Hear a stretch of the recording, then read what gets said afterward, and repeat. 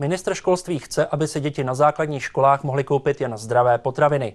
Nespokojenost nabídkou automatů je i v Českých Budějovicích. Ředitelé některých škol chtějí pořídit automaty na čipy.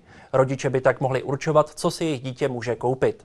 Cukrovinky, bagety s majonézou, slané bramburky a sladké nápoje. To všechno má zmizet ze školních automatů. Ředitelé škol tlačí na dodavatele potravin, aby změnili nabídku. Snažíme se o to, aby tam byly nápoje pokud možno nesladké, voda s příchutí. Zvýšila se i nabídka cereálních výrobků. Žáci si ale stále mohou ve škole koupit čokoládové tyčinky nebo bombóny.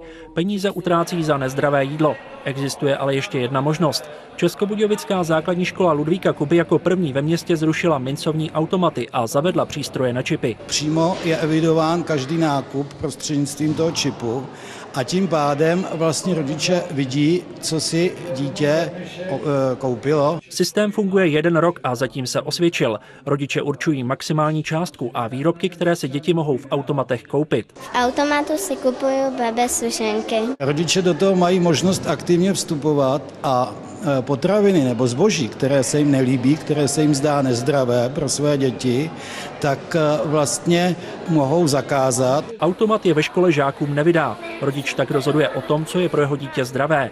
Automat prodává i dotované mléko. Škola ho tak nemusí vydávat.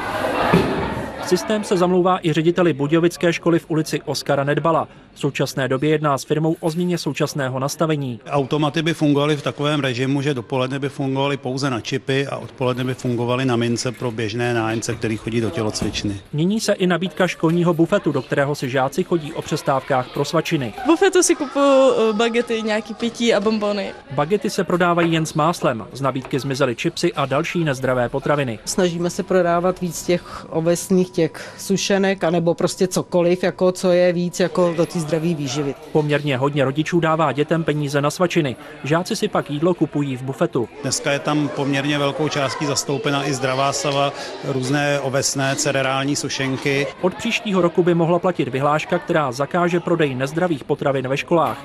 Dětem ale nikdo nezabrání, aby si je koupili na ulici třeba v rychlém občerstvení. Martin Štěpánek, Jihočeská televize.